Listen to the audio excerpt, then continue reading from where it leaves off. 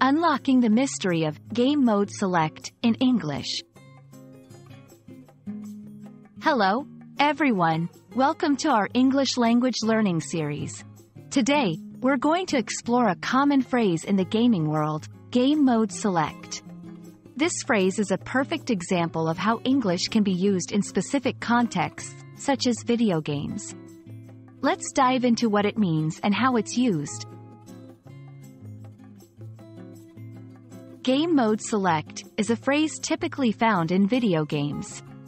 It refers to a menu option or a screen where players can choose different ways to play the game.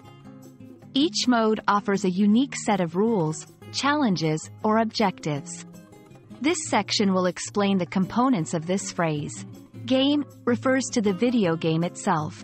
Mode implies different ways or styles of playing. Select suggests the action of choosing or picking something. In this section, we'll see how Game Mode Select is used in real-life situations. When you start a game, you often encounter this phrase. We'll look at examples from popular games and how selecting a mode can change your gaming experience. This demonstrates the practical application of the phrase in everyday gaming.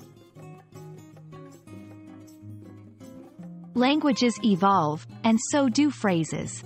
Here, we'll explore variations like choose your mode or select playstyle. Understanding these variations helps in broadening your comprehension and adapting to different gaming contexts. Interestingly, game mode select can be metaphorically used in everyday English. For instance, when someone says, I'm in work mode.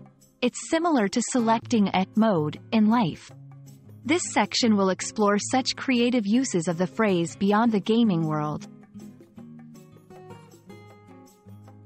And that's a wrap on Game Mode Select.